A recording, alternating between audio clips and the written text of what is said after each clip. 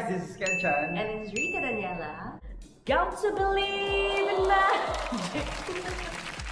Tell me how two people find each other.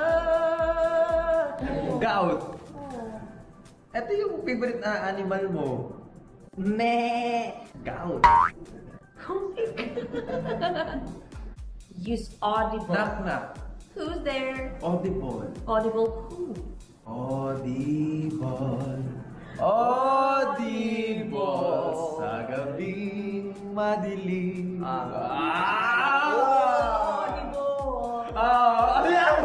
Nakaka-bad trip naman! I think marami nagkakaganyan ngayon kasi I think it's season of parang it's a flu season. I think everyone nagkakaroon ng sipon, ng ubo, din namamaos, nagkaroon din ako ng love nut.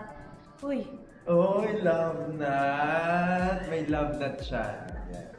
Okay. how about you? Knock knock ulit. Knock knock. Sabayan mo ako. Bakit love is kita mahal? Ganda mo'y di ko malimutan. Yeah, I think it's you. I think siya, favorite ko yung bakit labis kitang mahal. Sobrang habi. Pero gusto ko yung audible. Audible! Ikaw na kaisip ng Ah, audible! So, wala pong Ganda. manalo parehas po. Time. Hi guys, this is Rita Daniela. And this is Ken Chan.